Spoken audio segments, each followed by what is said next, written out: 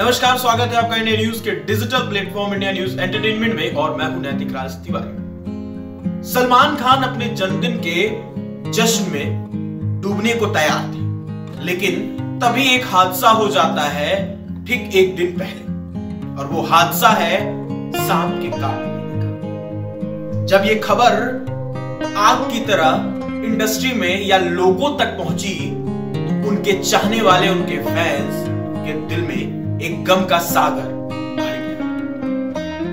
Fans उनको इतना ज़्यादा चाहते हैं कि जिसकी वजह से उनके घर के बाहर तमाम हुजूम लग जाता है। लेकिन सलमान खान अब स्वस्थ है। उन्होंने अपने सोशल मीडिया अकाउंट पर एक पोस्ट शेयर करके लोगों का धन्यवाद कहा है और उस घटना को सच में क्या हुआ था, वो सबके सामने रखा है वो अपने पोस्ट में लिखते हैं कि उन्हें तीन बार सांप ने काटा।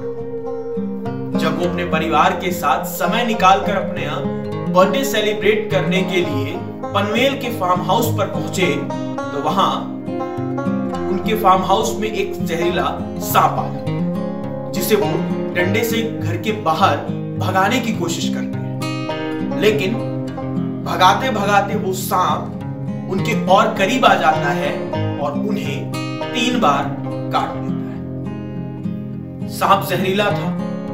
होने के साथ साथ जब सलमान खान को सांप ने काटा, सलमान खान को घर घर के परिवार के सदस्यों ने उन्हें अस्पताल में एडमिट करा एडमिट कराने के बाद तकरीबन वो पाँच घंटे तक अस्पताल में रहे। अस्पताल में रहने के बाद जब वो स्वस्थ हुए और इस बात की जानकारी उन्होंने अपने फैंस के साथ साझा की तो लोग प्रार्थना करने लगे कि सलमान खान अब ठीक है।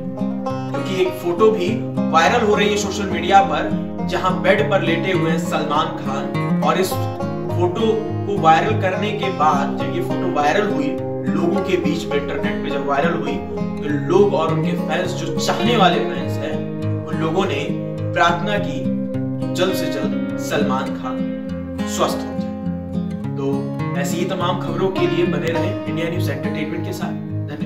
अगर आपको हमारा ये वीडियो पसंद आया हो तो वीडियो को लाइक करें और चैनल को सब्सक्राइब करें। और हाँ बेल आइकन को दबाना ना भूलें ताकि आप तक वीडियो का नोटिफिकेशन पहुँचता रहे। देश और दुनिया की तमाम खबरों के लिए देखते रहिए इंडिया न्यूज़ नेशनल।